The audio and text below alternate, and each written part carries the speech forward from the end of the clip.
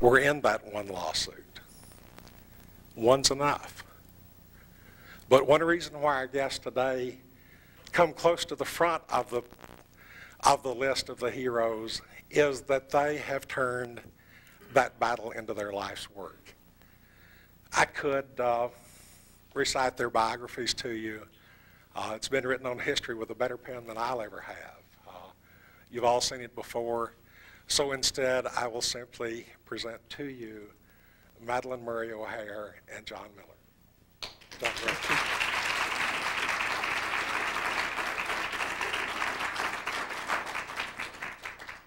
I thought to do something a little bit different today, and that is to talk about myself rather than about the issue of First Amendment or the issue of atheism, for which I am mostly known. And I'm supposed to have about a 20-minute presentation, and Jon Murray, who is now the president of American Atheists, is going to tell you about our legal uh, issues of state-church separation as they are posited in atheism. So I wrote a little speech for myself, and I hope you don't mind if I refer to it as I go here, uh, because it's hard sometimes to remember all of the events of one's life. I'm not certain when I first came up here that I was in the right place. Uh, it hardly looks like the basement of the YMCA. and I asked myself, is this a place and why am I here? And then I thought, well, I had better tell them why, why they are here. It was back in the very early 1950s, in 1950 itself, that I came to Houston, and I had one year of law school under my belt, and I was hankering to finish my LLB. My first year had been spent at the Warren G. Harding School of Law at Ohio Northern University in Ada, Ohio. One woman and myself gained entry to the law school, and the first day we were there, we were called into the dean's office and he sat us down and very quickly and abruptly delivered a couple of announcements. We may have got into the school, but we were not going to get out. He was not going to permit any woman to graduate from a law school because law uh, was a man's concern, not a woman's concern. And we were intruding where we were not needed, were not wanted, and could not make ourselves apply. We were wasting our time trying to get into what was the men's domain, and he would use any effort he could to force us out. And that was my introduction to law in the United States. I didn't see the other woman after that day. I don't know whether she finished or not, but I finished one year. And at the end of that year, my family moved to Houston, Texas. And dutifully, because I admire families, particularly my own, I came along uh, with my family to Houston and I gained employment with the probation department of Harris County.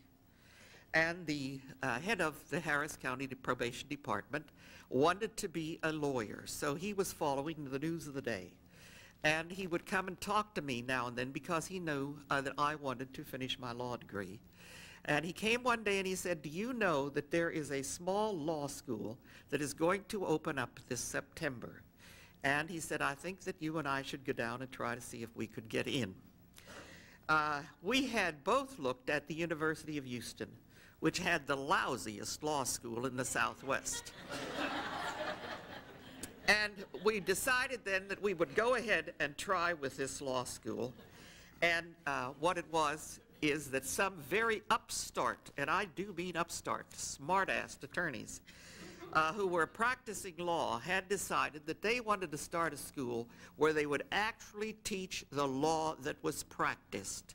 Not theory, not anything else, but what happened in their law offices and what happened in the courts of Harris County. They wanted to teach hands-on law. And they had very, uh, a great deal of ambition, but they had very little money. So they rented, rented the basement of the YMCA and set up classes there. And my boss and I immediately applied for admission, and we were accepted, and we traipsed off to class. And in one of my classes, I had a tremendous number of student peers, 12. The first semester, I took one class in legal ethics, and that's what I remember most about Southwest Texas of College of Law. I was horrified to find that the, the attorney who was teaching it was fighting for the child's, for his own child's custody in a very bitter divorce uh, battle. And I had been assigned by the probation department to evaluate the situation. I dared not let him know that I was the person who was doing the basic evaluation while somebody else was presenting it to him. But he was from Louisiana, and I, he had the thickest southern drawl I have ever heard. And the first day in class, he stood up in front of us and looked rather hopelessly at the few who were there. And then he made his entire life commitment known to us. He drawled. The only difference between a man and a hog is dignity. And for the rest of that semester, he taught us all of the things that an attorney should be. The foremost was dignified. Dignified in his life, dignified in his ethics, dignified in his profession, dignified in his community. I loved that man. The impact he made on me was extraordinary. And I have never talked, I never talked to him about anything in the class much. I never talked to him outside of class. I was afraid to because of that custody fight.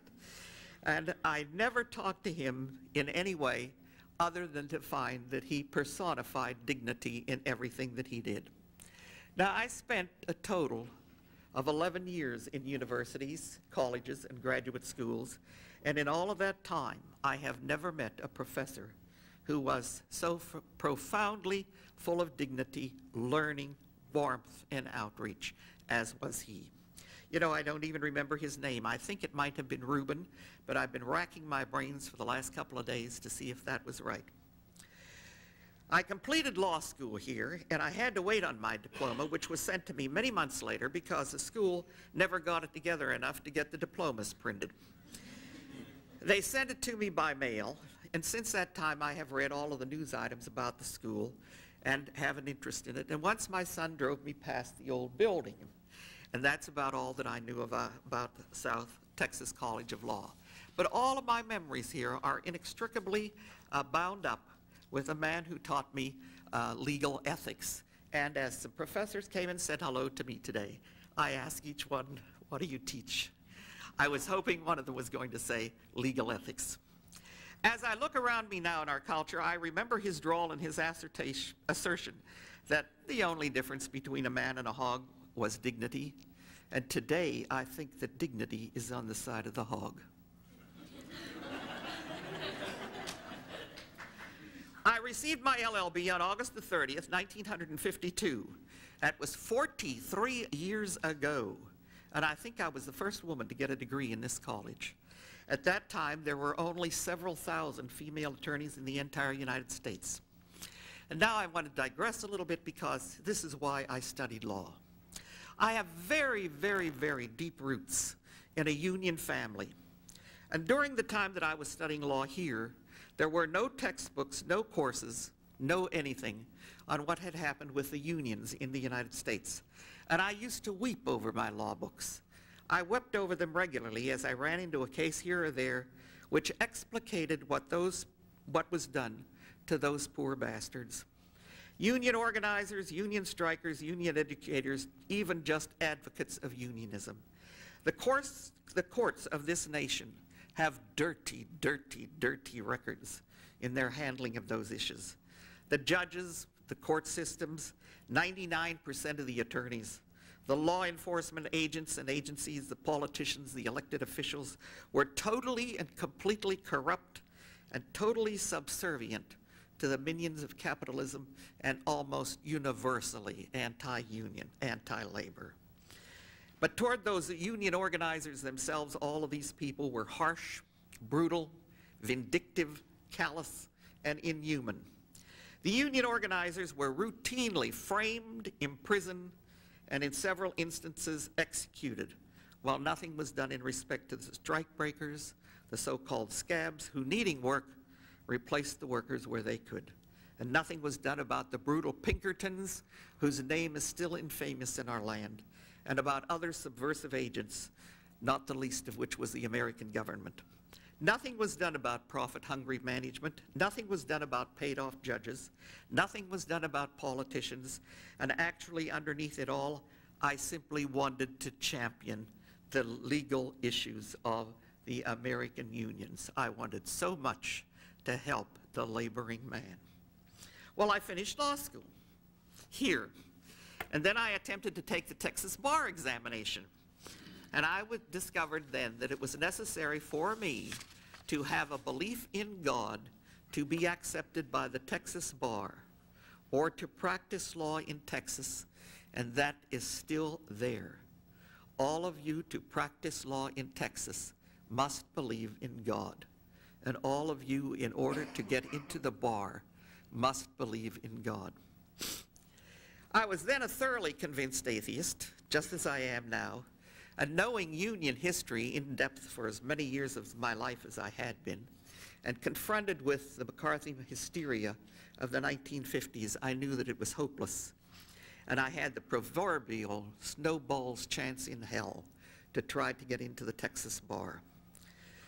But all I've ever done in my life was to take a test, and usually tests got me something. And I could beat anyone at anything on any test at any time. You all know that song. Anything you can do, I can do better. I can do anything better than you. That got me through life. It got me my scholarships to go to college.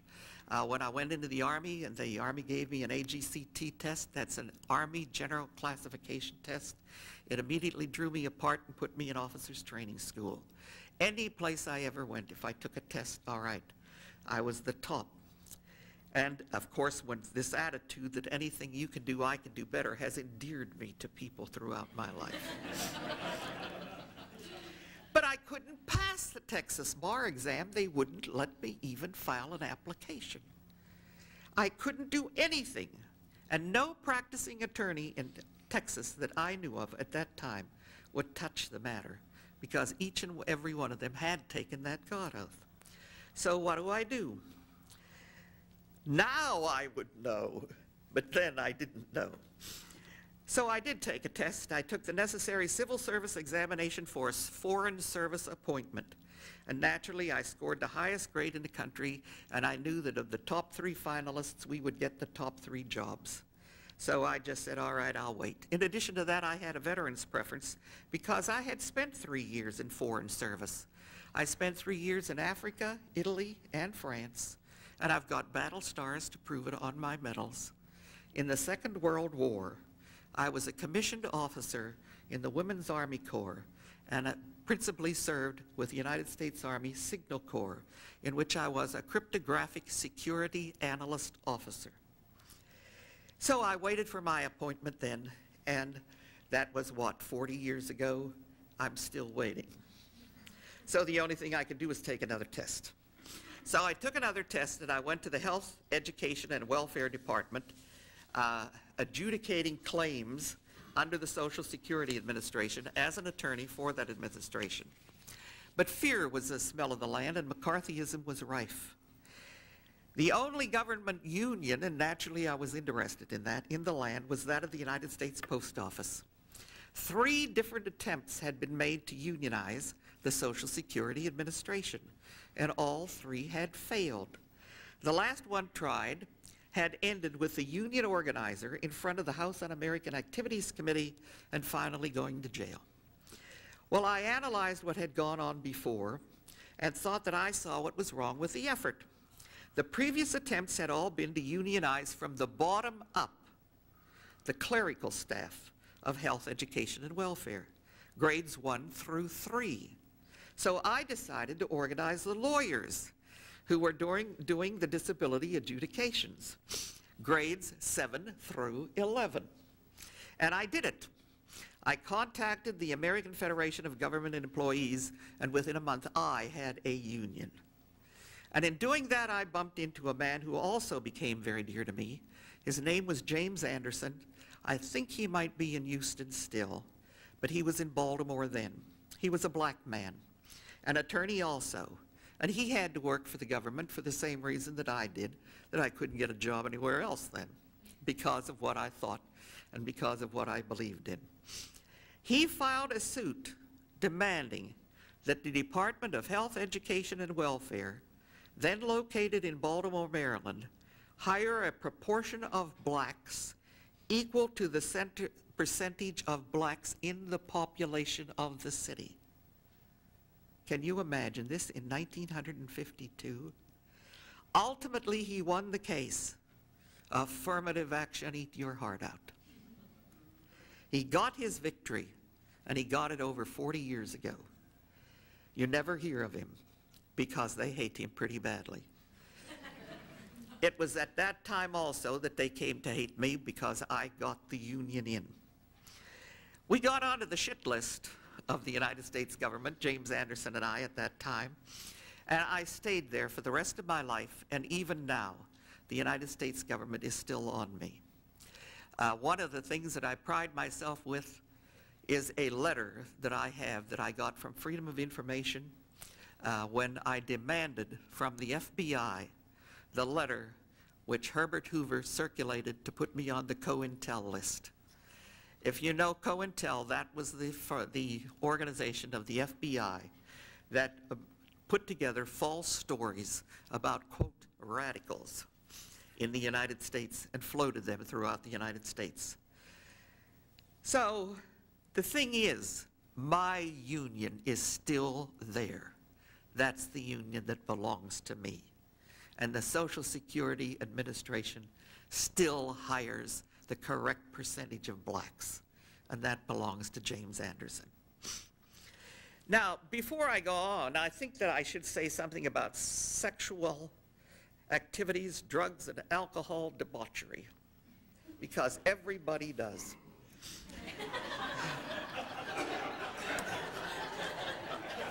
Give me some water.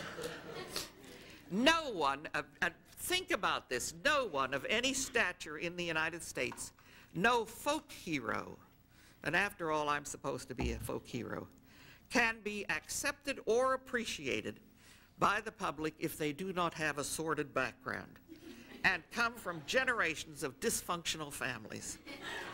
so, I'm going to feel funny about this, but I may as well tell you it's kind of difficult to make confessions in public.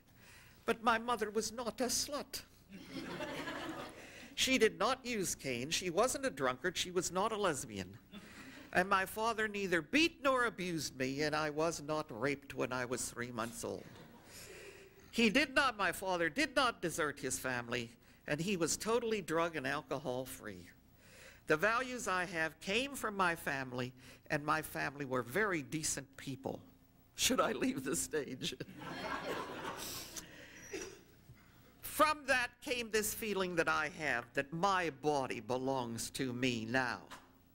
And it belonged to me way back then. I was not porking my boss at the probation department in Houston. And I was not porking Mr. Anderson because he was black and magnificent. And I was not porking any radicals of any age, size, shape, color, description, or title. I have never used drugs of any nature. I am not an alcoholic, and I've never been one. I have never been kinky enough to be into sadomasochistic relationships, dominance, slavery, or bondage, oral or anal sex, dual masturbation encounters, and I have never swapped tongues with man, woman, or beast.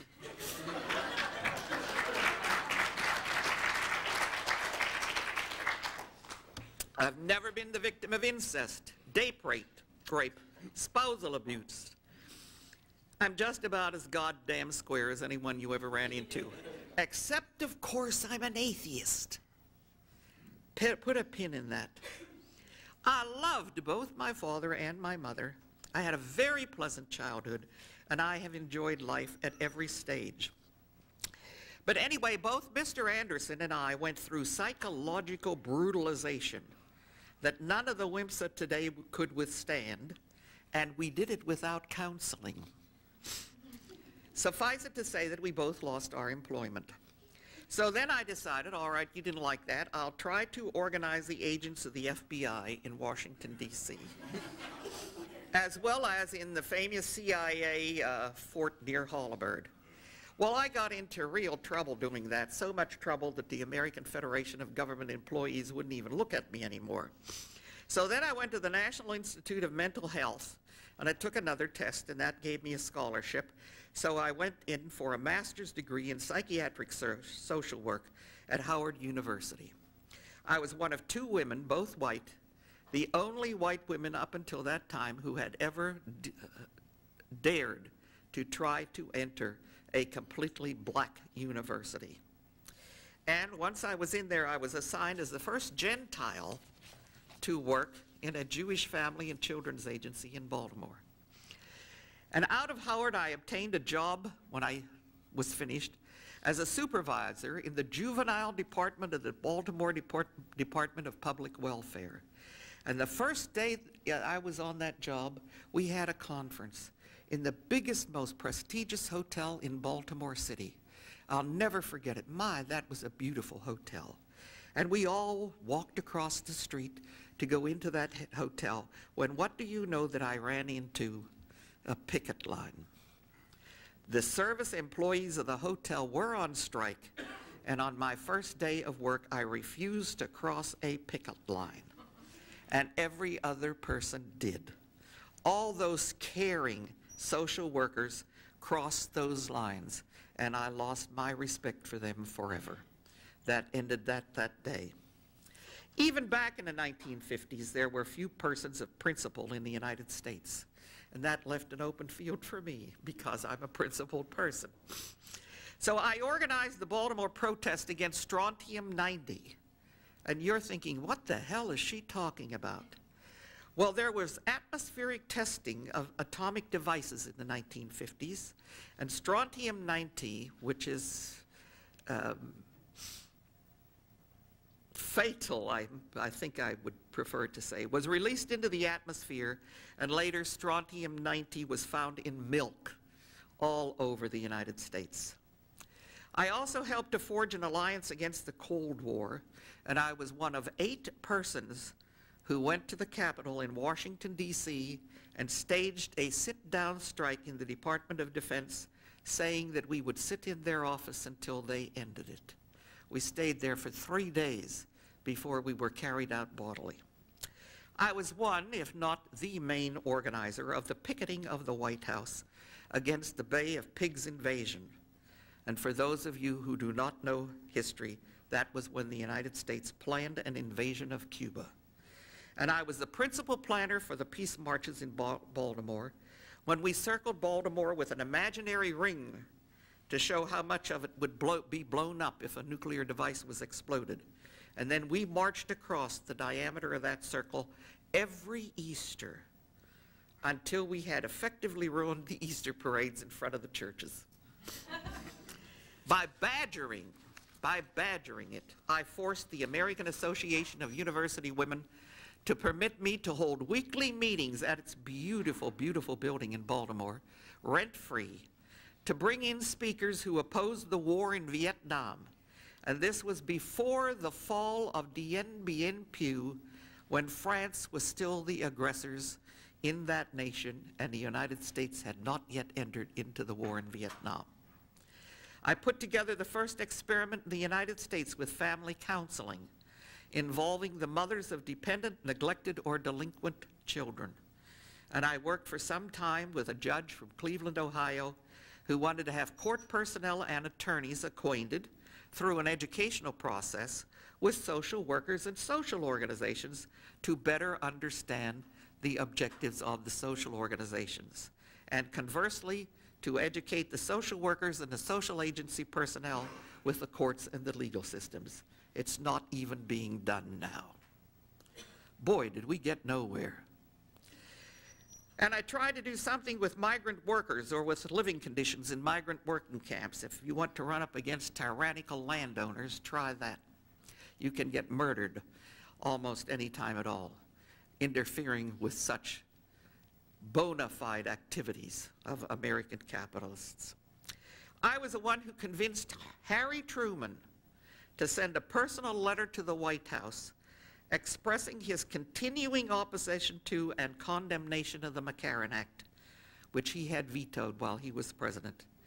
That's the McCarran Act was to force injunctions against strikes, strikes being reinstated so that strikes could continue and the unions could be busted. And it was also painted with a communist brush. And when I received his statement, everyone with whom I was working prevailed upon me to permit a black minister to deliver it to the White House. And I was damn fool enough to let them do it. Incidentally, to answer your first question, I am not a communist. They are so right-wing that I can't stand them.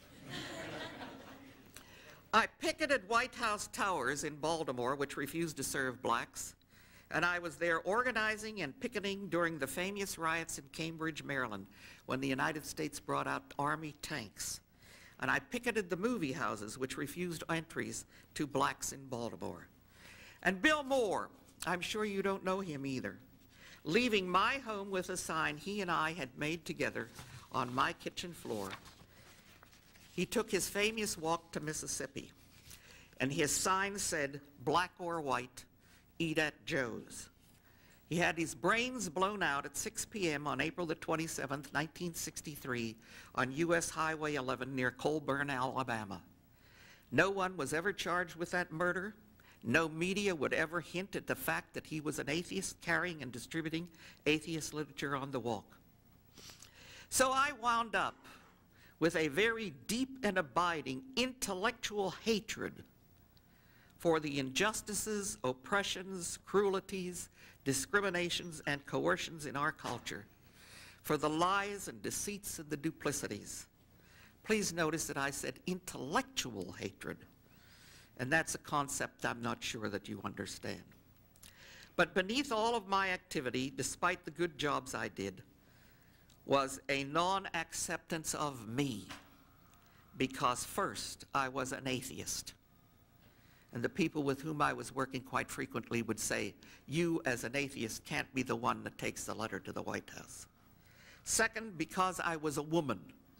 You have no idea how women are hated in America by the left until you try a couple of years in action with them. And third, because I was not into sex, booze, or drugs. I wasn't kinky enough. I would not stand, I absolutely refused to stand beside a minister, a rabbi, or a priest. I refused to attend rallies at any churches. I would not join in prayer as a solution to any problem because prayer does nothing. And I would not be a sinner seeking redemption and there was no way that I was going to kiss male ass. you have no idea how saturated in religion the so-called liberals are. Right now, when you see abortion, the abortion issue is religious. There isn't a liberal in the United States who will say so.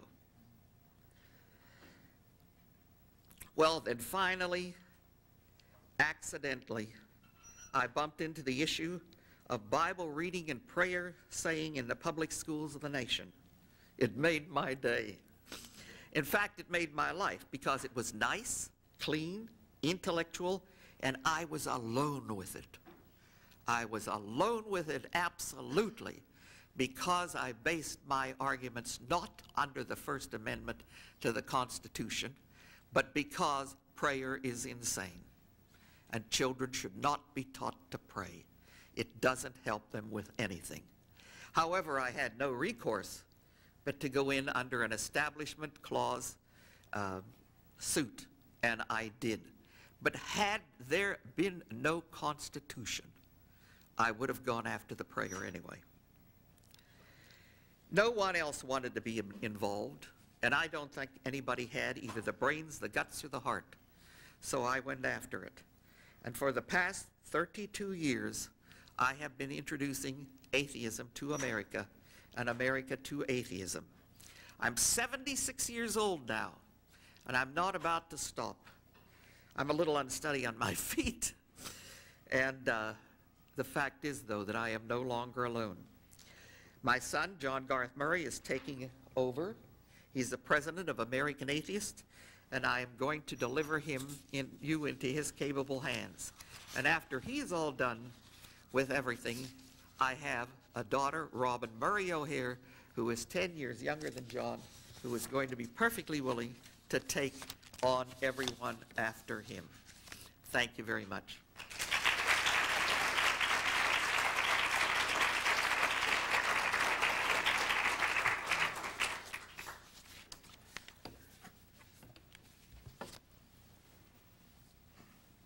Well, I'm Jon Murray, as you've been told, and I've have been the acting president of American Atheists, an organization founded by my mother, Madalyn O'Hair, uh, in 1963, since about April of 1986.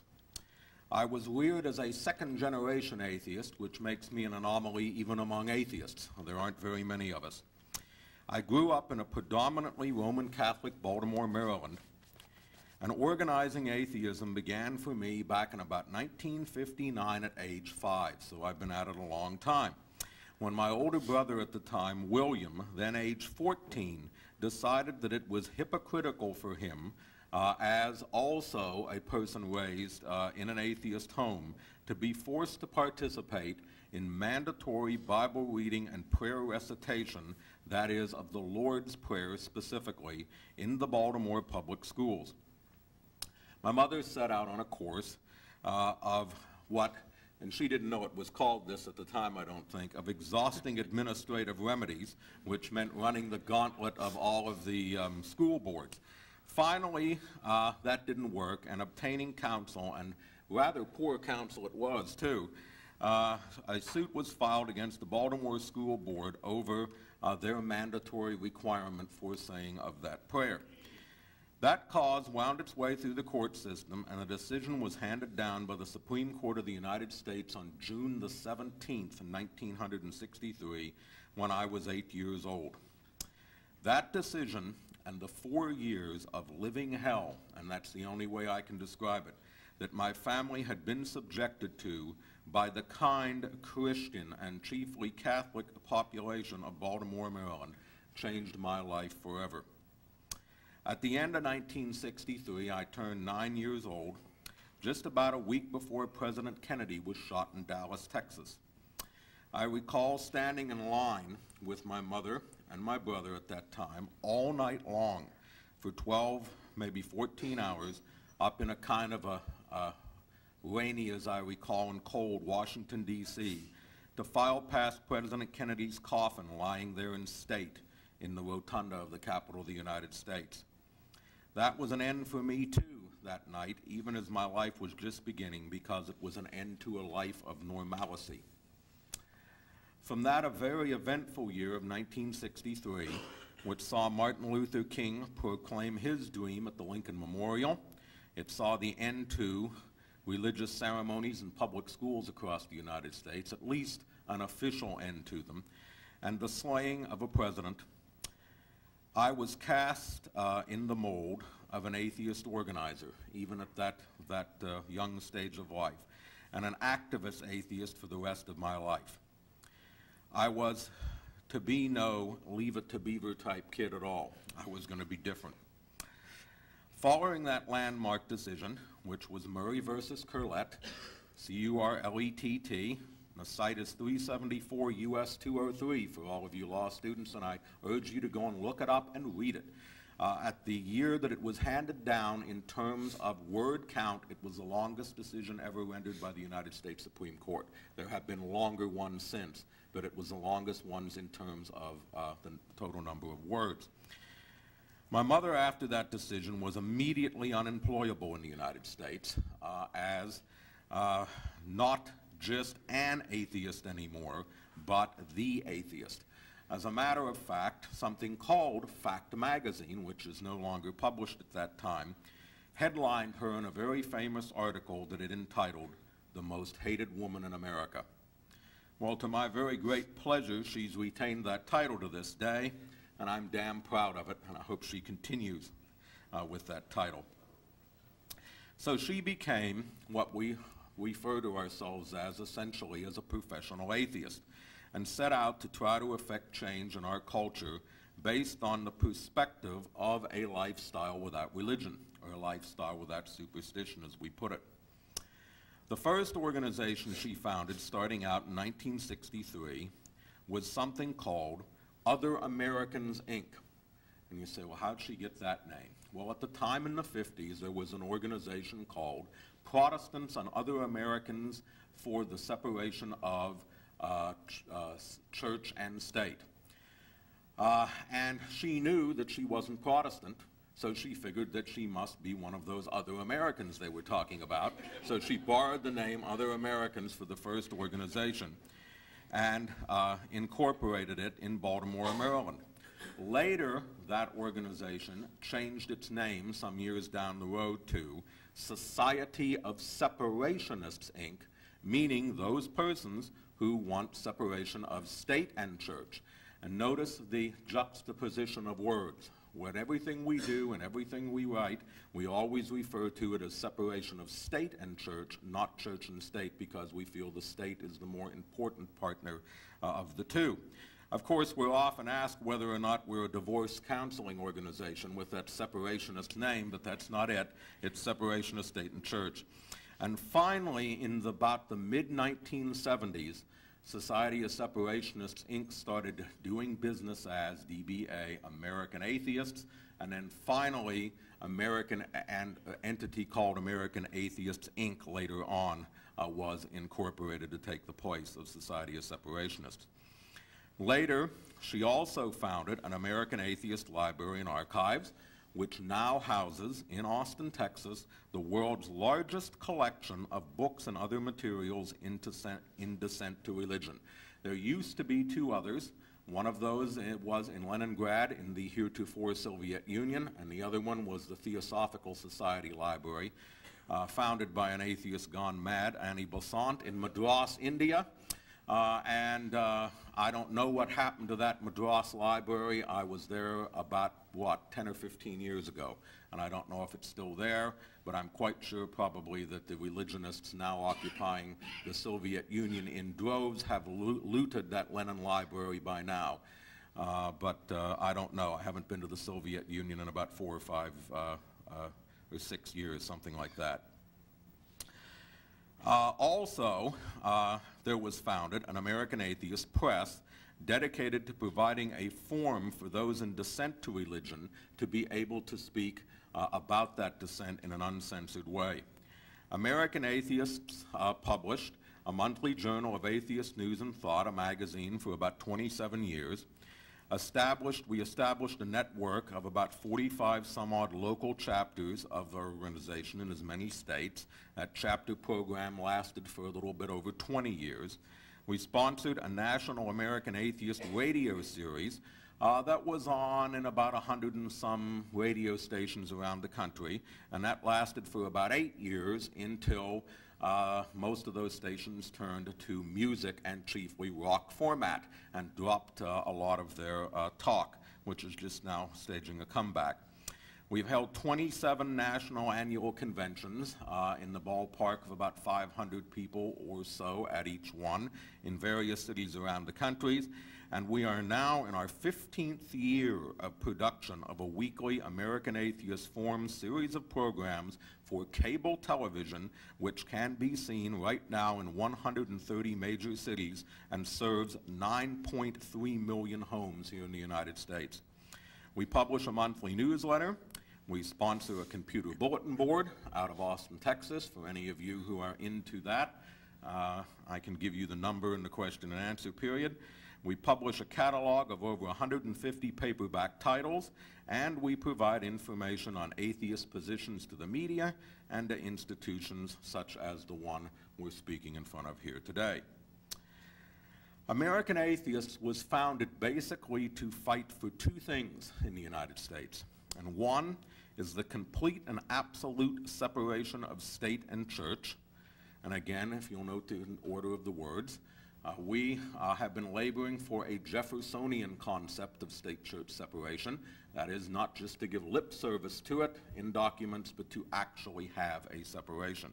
And number two, we established American Atheists to fight for the civil rights of persons who call themselves atheists, or the civil right to allow people to call themselves atheists openly uh, in the public. These two causes were to be taken on in the founding of the organization and have been taken on from a perspective that is unique to atheists. And that is that religion is essentially what we call myth information. That is, that there is no God, there is, there is no hell, there is no heaven, There are no he, she, it, or them, whatever you want to call the deity, to answer prayers. We do not oppose and did not oppose prayers in the public school because of any kind of denominational or establishment clause type concerns actually, but because prayer as a human act is irrational. Children should be taught the value, rather, in school of self-determination, what we call inner direction, logic, and the scientific method, and not to whine before an imaginary deity to get what they want. That's not good education. Prayer, basically, is talking to yourself. Only that and nothing more. And that act, we feel, is so singularly stupid that those who do it find comfort in carrying it out in groups, or should I say perhaps congregations is a better word. There has always been an effort by those religious to command the silence and acquiescence of others whenever and wherever they decide it is appropriate to engage in the act of prayer. And that's where they run up against us.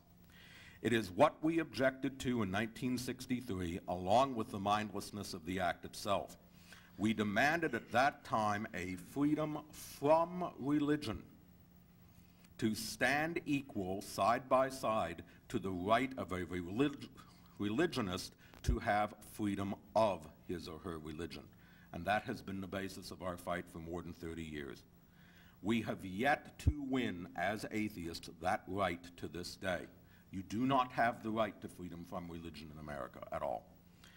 Every case that American atheists has litigated in the separation of state and church arena since 1963 has been approached on the premise that atheists ought to have the right to be free from religion. Unfortunately, the only way we have to bring this issue before any court is through the First Amendment, which only protects freedom of religion. Think about that for a minute. It says, and you should all know it by heart by now, Congress shall make no law respecting an establishment of religion or prohibiting the free exercise thereof. The amendment takes for granted that all Americans have a religion and that the government of the United States should not play favorites or take sides as to one religion being better than the other, i.e. establishing that religion through government action as a favored one. At the same time, government shall not inhibit the free exercise of religion, again, still operating on the premise that all Americans have a religion to exercise. Then comes the atheist. So what do you do with us in that kind of constitutional scenario? What is to be done with a citizen who has no religion and whose lifestyle cannot be defined as religious?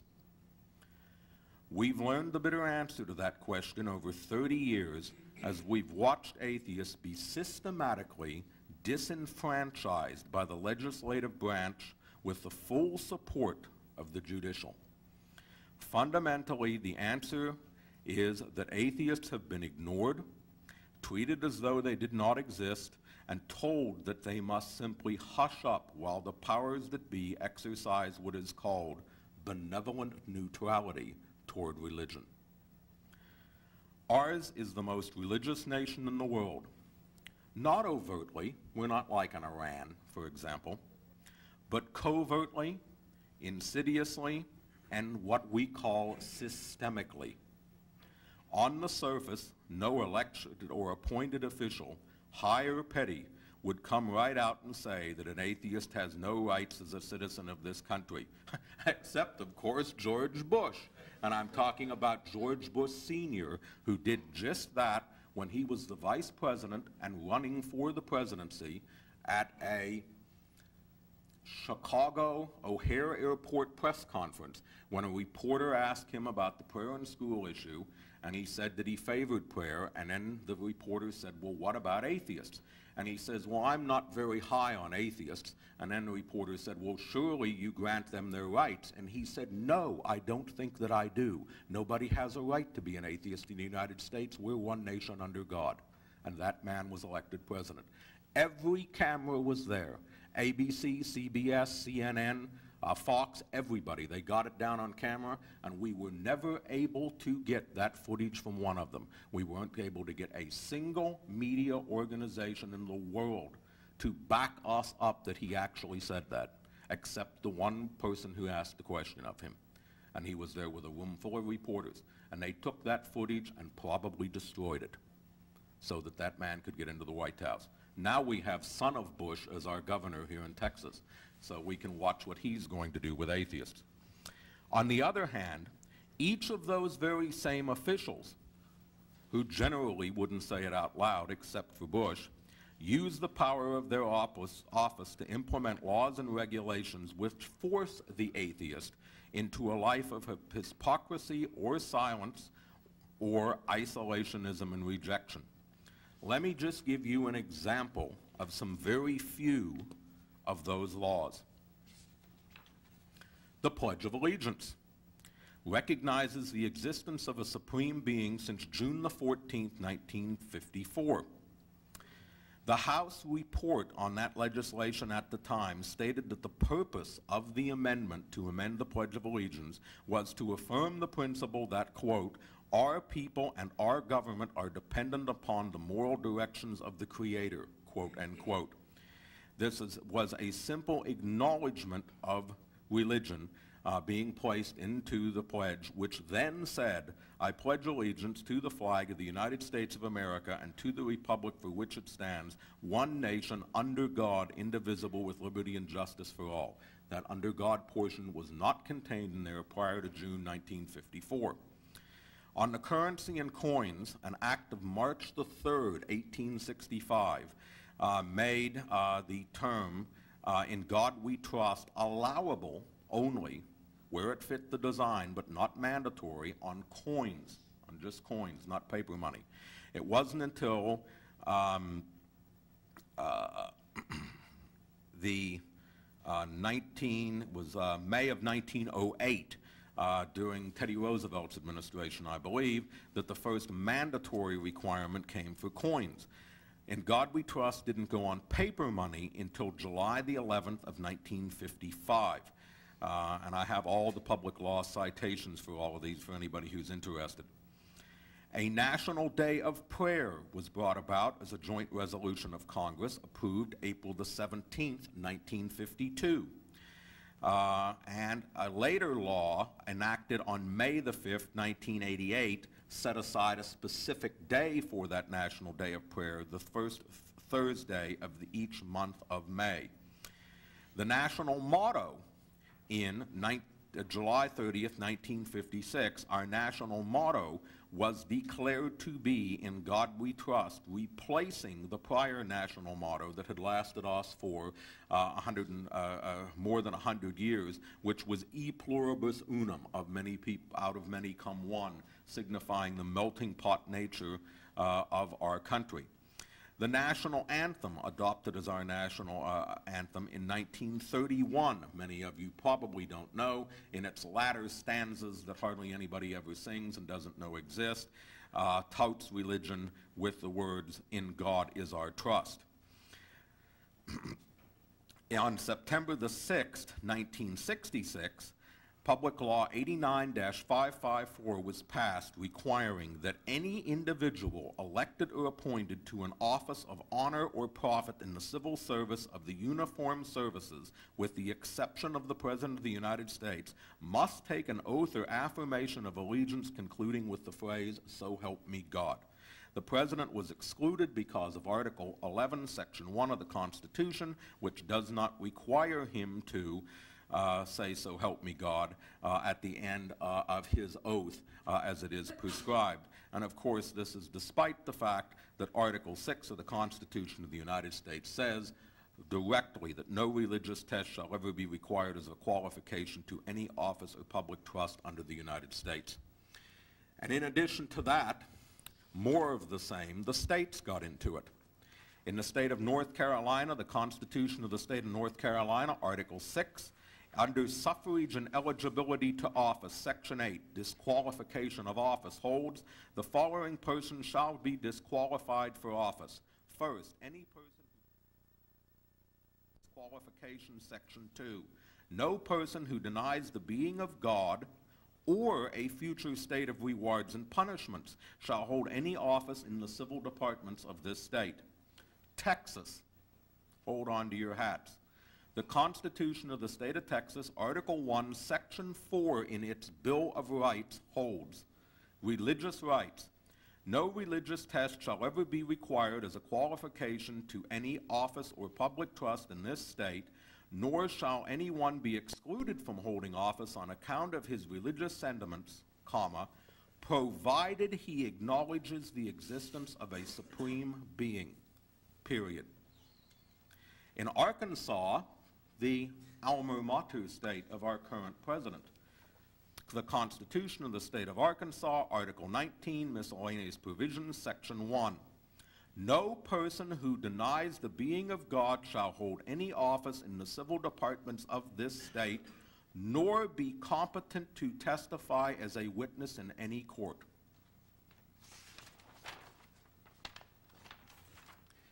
South Carolina, the Constitution of the State of South Carolina, Section 12, qualification for the office of governor.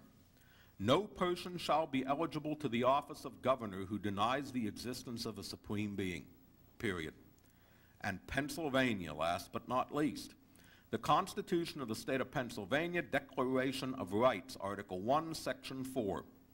No person who acknowledges the being of God and a future state of rewards and punishment shall, comma, on account of his religious statements, be disqualified to hold any office of public uh, or place of trust or profit under this Commonwealth.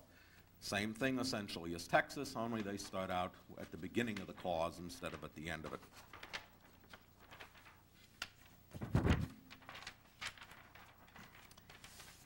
The object of all these laws, both federal and state, is essentially to establish religion as a preferred component of citizenship.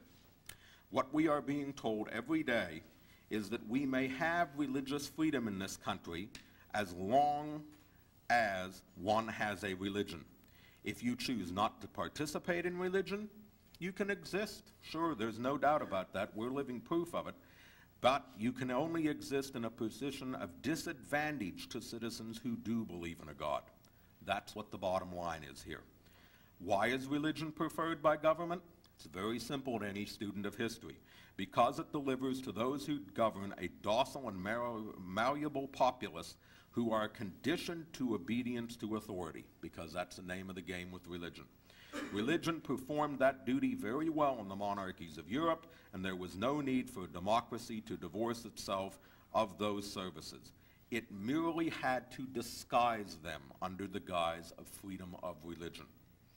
So American atheists set out in 1963 to try to challenge one by one the laws and regulations and practices which collectively combined to instill into the hearts and minds of Americans that religion was good for them kind of like Wonder Bread. It might taste like shit, but it's good for you. In all of those cases, we sought to fought, fight for a list of principles that, although not complete, were best enunciated actually about 119 years ago. You didn't know there were atheists that long ago, did you? Yes, and they were organized too, by a free thought group convened in Philadelphia at that time and they announced what they called at that time the nine demands of liberalism, and here they are. And these will sound familiar to you uh, for cases that have been fought over these issues through the years. One, we demand that churches and other ecclesiastical property shall be no longer exempt from taxation. Two, we demand that the employment of chaplains in Congress, in the legislatures, in the Navy, and militia, and in prisons, asylums, and all other institutions supported by public money shall be discontinued. Three, we demand that all public appropriations for education and charitable institutions of a sectarian character shall cease. Four, we demand that all religious services now sustained by the government shall be abolished, and especially that the use of the Bible in the public schools, whether ostensibly as a textbook or avowedly as a book of religious worship, shall be prohibited. Five, we demand that the appointment by the President of the United States or by the governors of various states of all religious festivals and fasts shall wholly cease. Six, we demand that the, the judicial oath in the courts and in all other departments of government shall be abolished, and that simple affirmation under the pains and penalties of perjury shall be established in its stead. Seven, we demand that all laws directly or indirectly enforcing the observance of Sunday as the Sabbath shall be repealed. Eight, we demand that all laws looking to the enforcement of Christian morality shall be abrogated and that all laws shall be conformed to the requirement of natural morality, equal rights, and impartial liberty. Nine, we demand that not only the Constitution of the United States and of the several states, but also in the practical administration of the same, no privileges or advantages shall be conceded to Christianity or any other special religion that our entire political system shall be founded and administered on a purely secular basis, and that whatever changes shall prove necessary to this end shall be consistently, unflinchingly, and promptly made. And that's from 119 uh, uh, years ago. Well, now what I'd like to try to do is to run through in a, just an abbreviated list of some of the specific litigation in which American Atheist was involved over more than 30 years to attempt to achieve some of those goals uh, that were articulated in those nine demands over a century ago. Uh, and I'll try to do this as quickly as I can without, uh, without the names. And I will have who versus who for anybody who wants to ask, but that's kind of uh, immaterial to the discussion. First, we, in 1970, American Atheists filed an amicus curiae case, which sought, uh, filed an amicus curiae brief in a case before the United States Supreme Court over the tax exemption of real property of churches. In uh, 1978, we attempted to remove the phrase "In God We Trust" from U.S. coins and currency in the federal court. Uh, the court um, uh, denied us, saying that that is simply a ceremonial act and has nothing to do with religion. In 1981, a member of American Atheists challenged prayer at high school commencements in, uh, commencements in Chandler, Arizona, which is a suburb of Phoenix, and won.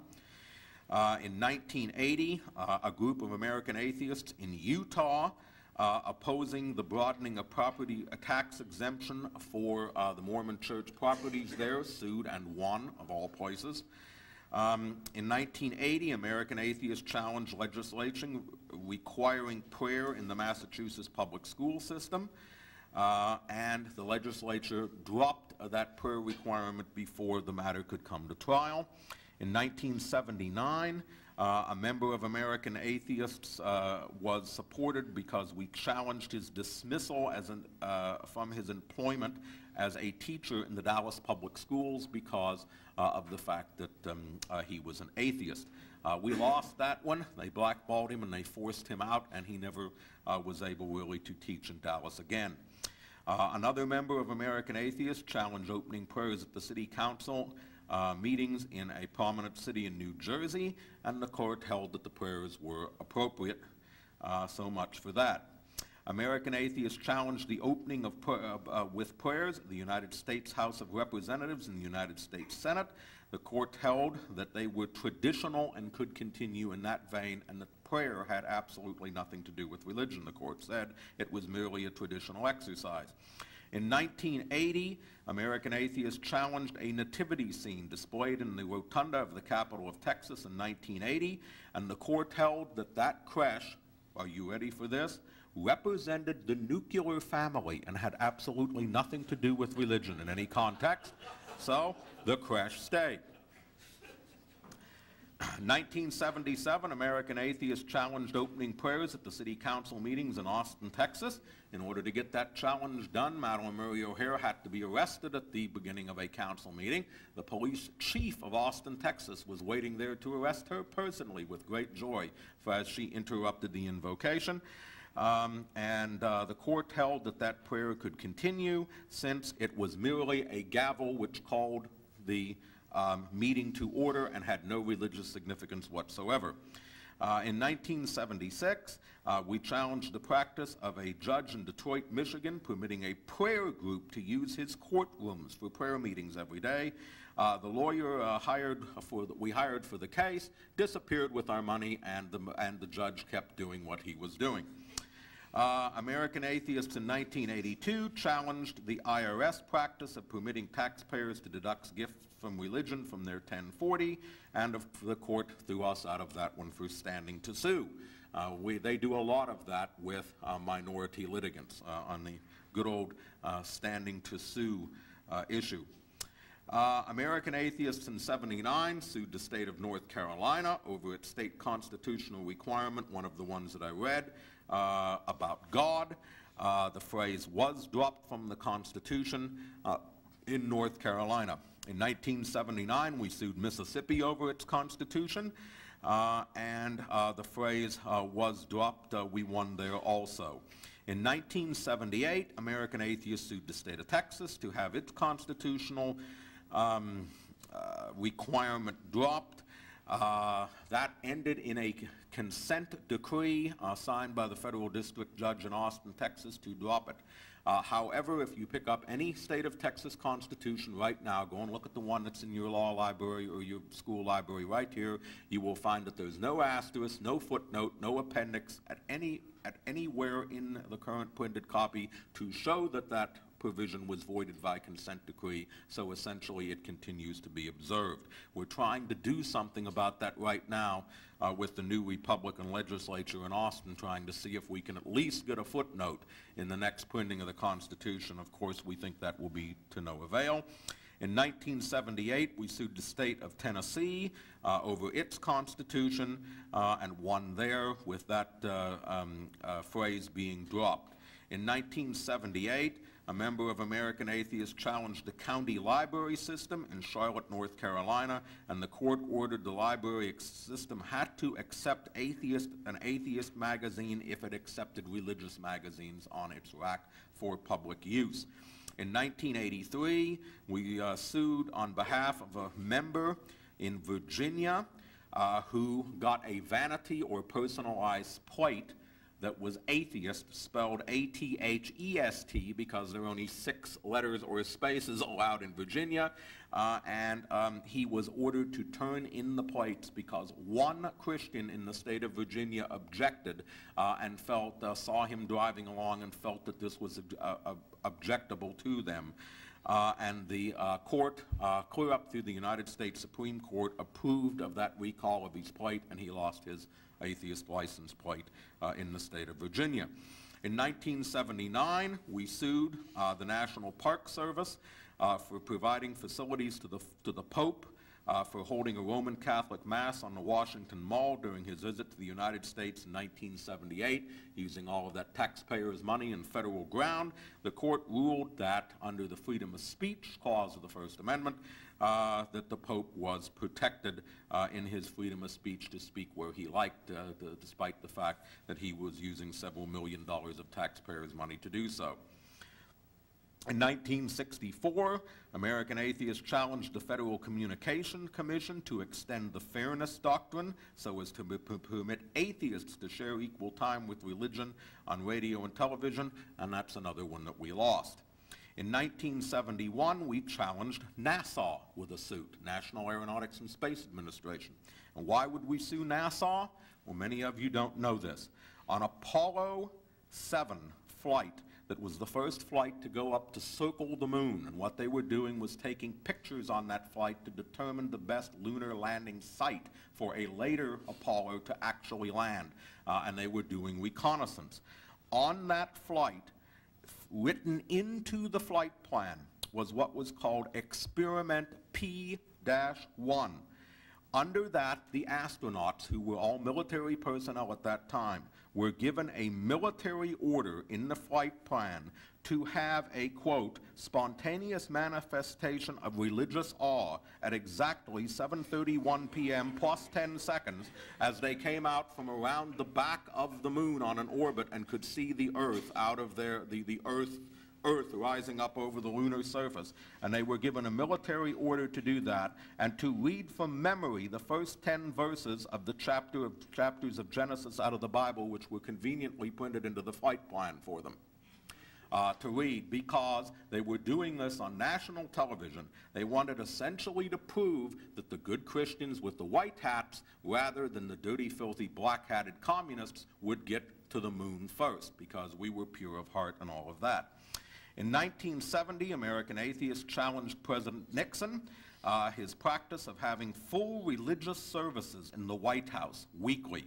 The case was thrown out of court because, of course, this, uh, the court said that the, you can't sue a president, he has immunity.